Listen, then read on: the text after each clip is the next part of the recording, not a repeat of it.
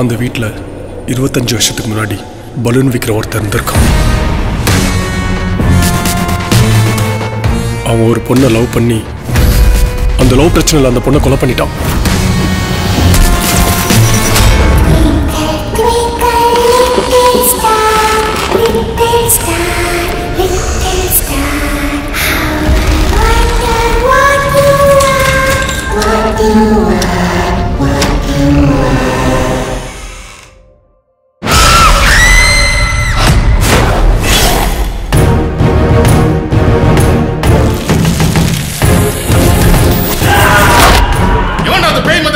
வருகிறது